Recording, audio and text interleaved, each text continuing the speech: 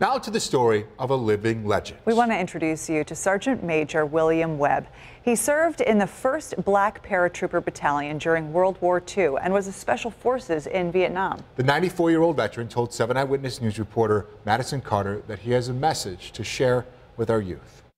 This is when I became a sergeant major in the, in the Army. William Webb was 16 years old when he lied about his age to leave Buffalo and enlist in the Army. All my friends that was older than me was all leaving, going to the military. I want to go too. He spent quite a few years there. I was, I was only in there 32 and a half years.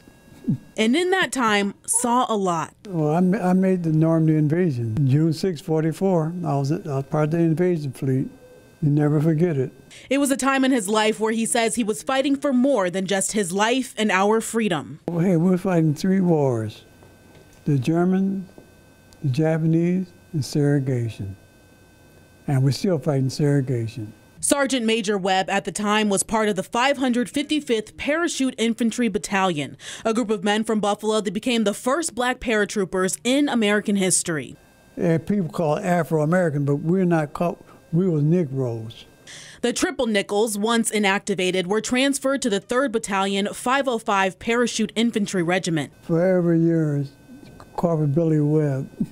They'd go on to be transferred throughout the 82nd Airborne Division to form the first integrated division in the U.S. Army. It was rough, but we made it. Webb says he kept re enlisting. I like being in the military. Because, unlike at home, at least overseas, the fight was tangible. Like I said, we was fighting segregation. At least at the Germans, like a shoot back. Today, at 94, when he reflects on his military service, he says he only wishes our children could understand why he spent most of his life serving. I helped make it possible for them to be where they're at now, but they don't, they don't listen, they don't care.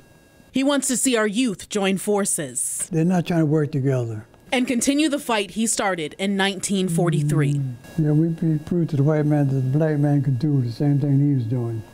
Madison Carter, 7 Eyewitness News. Sergeant Major Webb, thank you for your service.